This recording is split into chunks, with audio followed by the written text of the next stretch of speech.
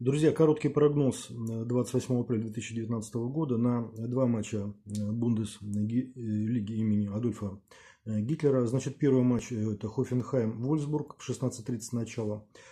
Победа Хофенхайма и тотал матча 2,5 больше. Следующий матч Нюрнберг-Бавария. Голы в обоих таймах. А теперь мотивировка и обоснование этих ставок. Значит, Хофенхайм сейчас идет на седьмом месте.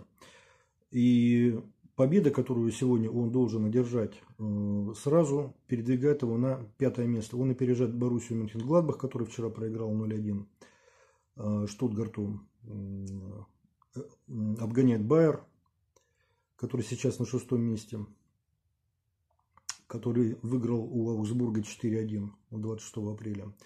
Вот. И вплотную приближается к контракту. Это Лига Чемпионское место. Айнтрахт вчера потерял очки с Гертой 0-0, и сейчас они играют на Лиге Европы, и потом они еще будут терять очки, потому что у них насыщенный плотный график. Э, то есть им нужно два матча сыграть за неделю еще тяжелейших. Поэтому Айнтрахт потеряет, скорее всего, очки, и Хофенхайм таким образом получает шанс занять четвертое Лига Чемпионское место. Я думаю, что он воспользуется этим шансом.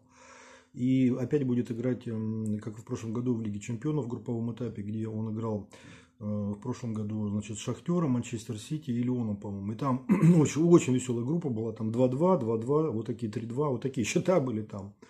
Красавцы. Теперь Нюр, Нюрнберг Бавария. Смотрите, по, по, победу Баварии брать глупо, да, там за 1.15, за 1.20.